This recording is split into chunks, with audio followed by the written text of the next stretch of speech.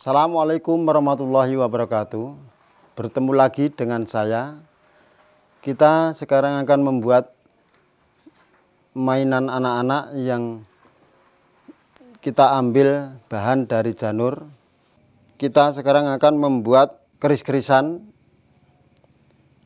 Bagaimana cara membuat keris-kerisan? Mari kita ikuti langkah eh, pembuatannya.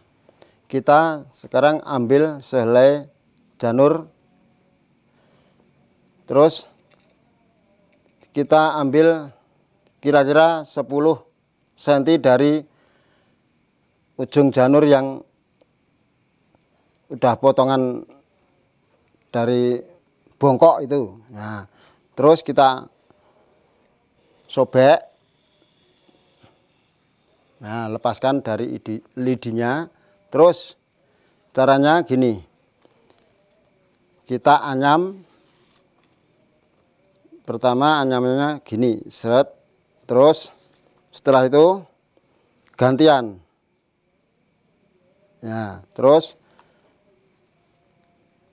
Nah, bikin runcing gantian terus untuk penguncian terus Nah, gini. Dan seterusnya kayak gini terus. Nah.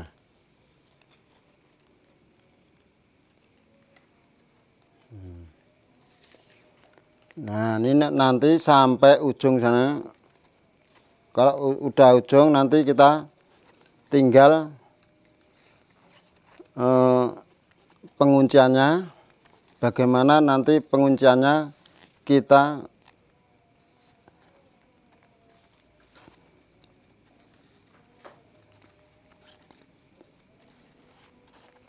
belajar bersama-sama nanti cara mengunci. Ini biar enggak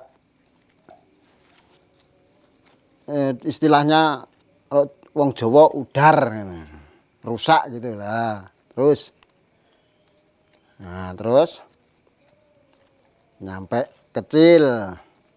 Kalau udah kecil kira-kira enggak bisa dianyam. Nah ini gini Terus pengunya, pengunciannya seperti bikin pecut. Nah, dianyam juga gantian biar enggak anu udar gitu. Biar enggak rusak. Lepas dari ilidinya. Nah, terus kalau udah gini diikat biasa aja.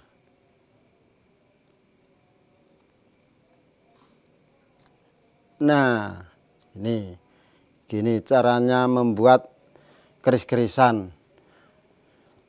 Sebenarnya ini cuman mudah. Kalau teman-teman mau membuat dan belajar ini sebenarnya cuman mudah.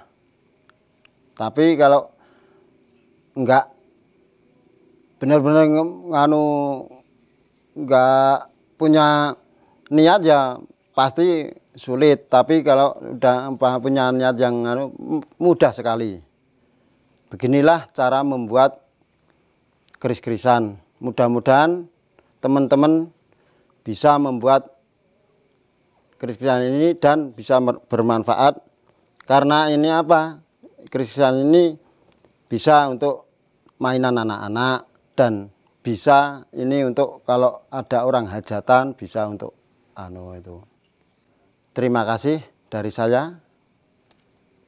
Assalamualaikum warahmatullahi wabarakatuh.